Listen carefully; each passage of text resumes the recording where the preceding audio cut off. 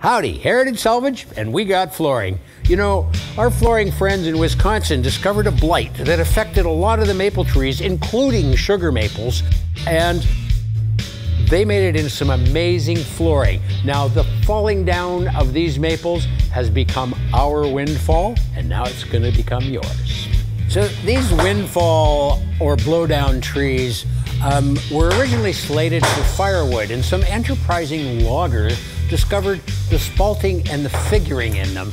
And they said, wait a minute, let's cut these into blanks, put them in a dry kiln, and see what they look like. We got bottom relief, end matched, tongue and groove, three quarters of an inch thick, and three, four, five, six, and seven inches wide. And you know, a lot of these planks are seven to nine feet long.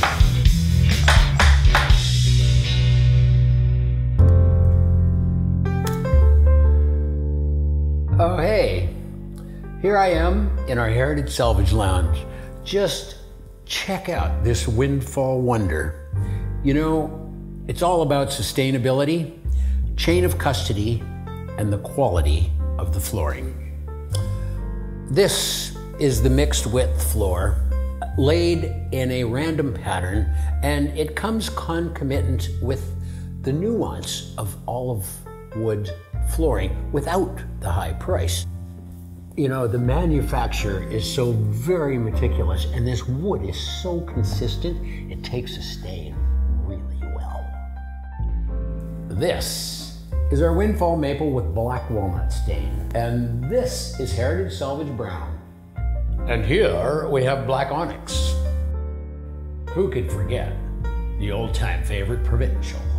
Well, we are sad to report on the maladies facing these beautiful trees, we are happy to be part of the reclamation process that allows these trees to continue to share their beauty.